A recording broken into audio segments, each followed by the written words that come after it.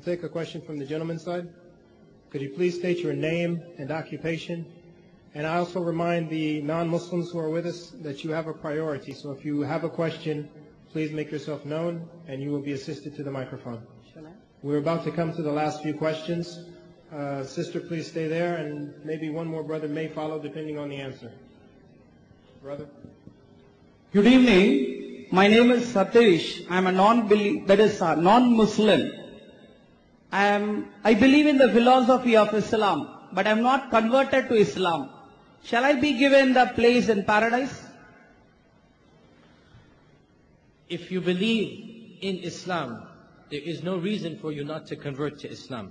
Because you see, in Islam, belief leads to action.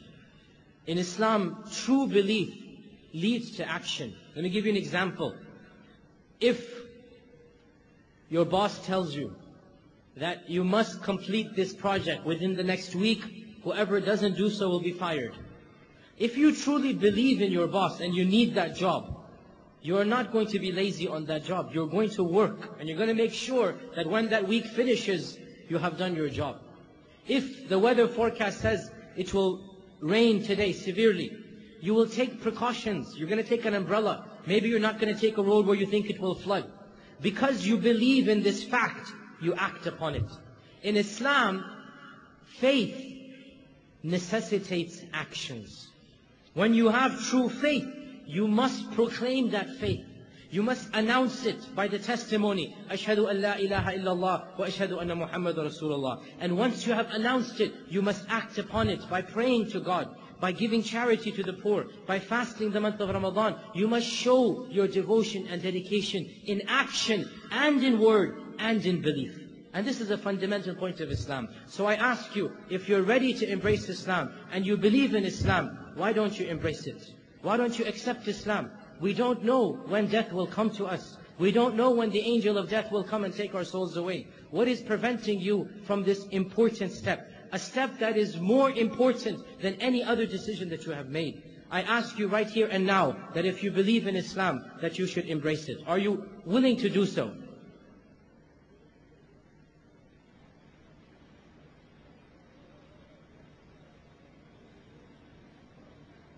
If you're willing to do so, just raise your hand.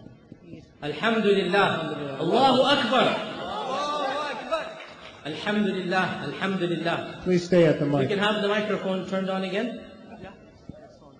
Brother, you, if it doesn't turn on, come to the stage. Okay.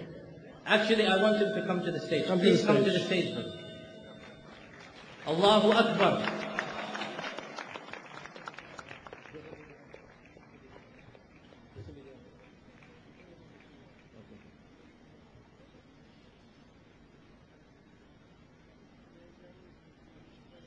Can we get a second mic?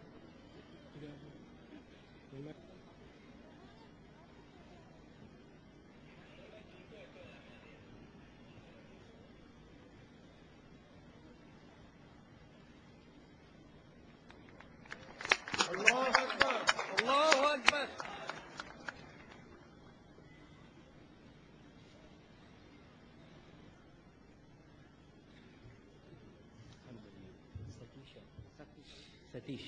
Okay. We have brother Satish Babu in front of us today, who has studied Islam and has come to the realization and conclusion that this is indeed the ultimate and the only and the legitimate religion from Allah subhanahu wa ta'ala.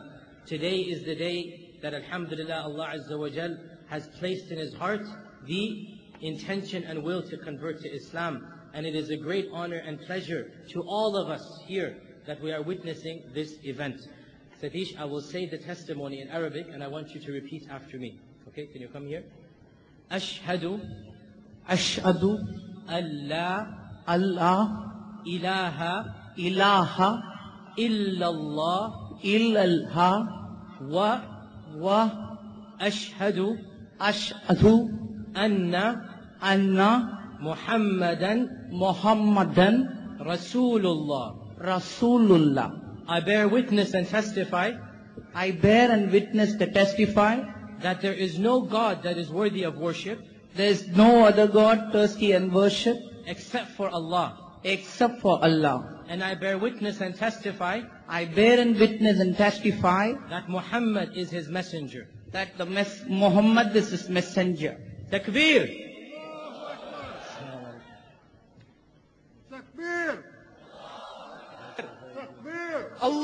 Allahu Akbar. This is a great honor and pleasure for us, brothers. And this is not something in earn, uh, said in joke. I want you to take his phone number and take his address and invite him over to your house. He has now joined your family. It is our family. We must welcome him with open arms. I want you to invite him over and congratulate him and treat him like you would your blood brother. He is more important to us than a blood brother. He is our new brother in Islam. You have joined another you have a, a, large family sitting in front of you. This family will take care of every need of yours. Anything that you need, we are all sitting here for you. Brothers, I want you to make sure you teach this brother how to pray, how to fast, how to read the Quran. You invite him over for Eid. Brothers and sisters, if you don't do this, who is going to do it? On Eid day, who is going to invite him over and show him the spirit of Eid? He does not have any family members who are Muslim. You are his family. You need to take him. So when he goes downstage, I want to make sure he doesn't get to his car until at least 100 of you have taken down his name and phone number and you're going to invite him over for the best food, the best dishes, treat him like your brother, real brother, and teach him about Islam. Show him the true spirit of Islam. And inshallah, may Allah make him a means of guidance for the rest of his family and relatives.